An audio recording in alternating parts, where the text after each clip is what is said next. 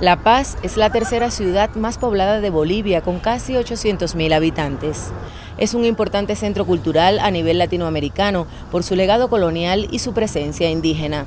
Su clima templado de montaña hace que todos se mantengan bien abrigados todo el tiempo.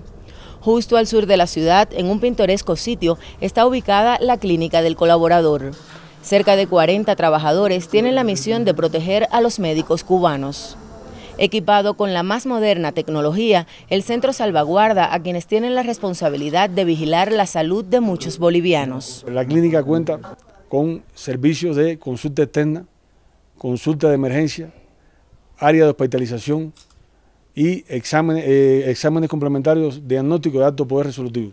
En la clínica trabajan 12 médicos y 7 enfermeros de varias provincias cubanas, formados en una decena de especialidades. Para quienes llegan por primera vez a La Paz o regresan de sus vacaciones, la clínica del colaborador es un lugar de obligada visita para los chequeos médicos frecuentes. Aquí se vela sin descanso por quienes desde los nueve departamentos bolivianos atienden a pacientes nativos en un país donde la salud no es gratuita.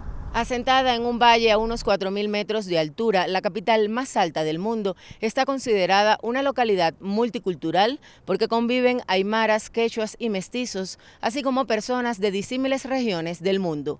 Desde aquí, un equipo de la televisión cubana estará reportando. Desde Bolivia, Yorkiel Mirabal, Rey Villa y Lisette Márquez, Sistema Informativo de la Televisión Cubana.